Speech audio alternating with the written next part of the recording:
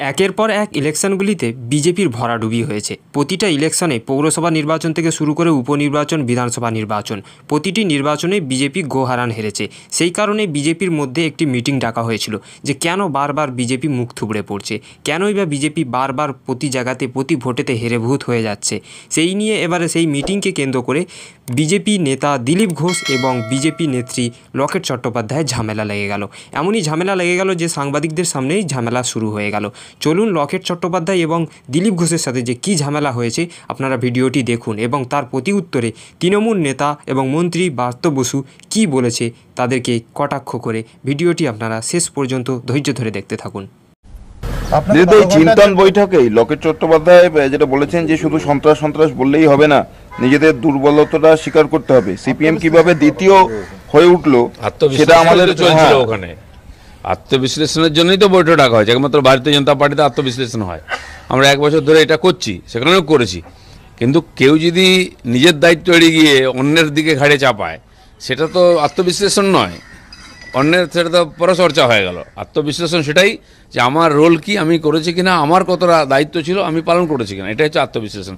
আর সেটা পার্টি করছে। ওই বৈঠকে লকেট চট্টোপাধ্যায় এমনও বলেছেন, শোনা যাচ্ছে যে যেভাবে কমিটি তৈরি হয়েছে, তাতে যোগ্যতা নয়, গুরুত্ব পেয়েছে কোটা। পুরনোদের একেবারে সরিয়ে দেওয়া ঠিক হয়নি।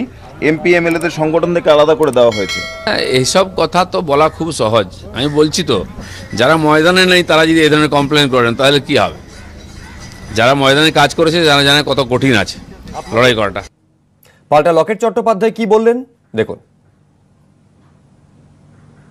কারণ কালকে যখন আমাদের ভেতরে কথা হচ্ছিল দিলীপদা ওখানে যদি কিছু বলেন ওখানে বলতে পারতেন কিন্তু এটা মিডিয়ার বাইরে আমি এ নিয়ে কথা বলতে চাই না। আমি এখনও বিশ্বাস করতে পারছি না যে মিডিয়ার সামনে দিলীপদা কালকের আমাদের কি কথা হয়েছে সেটা নিয়ে কোনো কথা বলেছেন। কারণ আমি তো কখনো বলিনি যে আমি বাইরে কি কথা ভেতরে আমি কি কথা বলেছি। মিডিয়া স্পেকুলেট করেছে আমি কি কথা বলেছি। যেভাবে দিলীপ ঘোষ লকেট চট্টোপাধ্যায়কে নিশানা করছেন যার জবাব লকেট চট্টোপাধ্যায় দিচ্ছেন এই সার্বিক পরিস্থিতি নিয়ে ব্রাত্য বসু কি বলছেন? দেখব। ওরা যদি নিজেদের মধ্যে সত্যিকার আত্মসমালোচনা করেন এবং কেন সিপিএম দ্বিতীয় হচ্ছে, কোথায় ওরা তৃতীয় হচ্ছেন, আমরা এগুলো নিয়ে বদার্ড নই। আমরা এভারেস্টে আছি।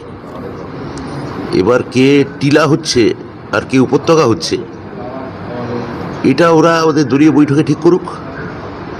অন্য দলের অভ্যন্তরীণ বিষয়ে কে কার আত্মসমালোচনা করছে, কে গোষ্ঠীকন্দল করছে, কে পরচর্চা করছে, এইসব নিয়ে আমাদের বলার কিছু নেই। মুখ্যমন্ত্রী মমতা বন্দ্যোপাধ্যায় তাঁর উন্নয়নের প্রতি গোটা বাংলার মানুষ ধারাবাহিকভাবে দু হাজার এগারো সাল থেকে আশীর্বাদ, ভালোবাসা, শুভেচ্ছা সব জানিয়ে আসছেন। তো সেইটা আমাদের মনে হয় যে আগামী দিনের কাজের ক্ষেত্রে আরও যে যে আমাদের কর্মসূচি সেগুলো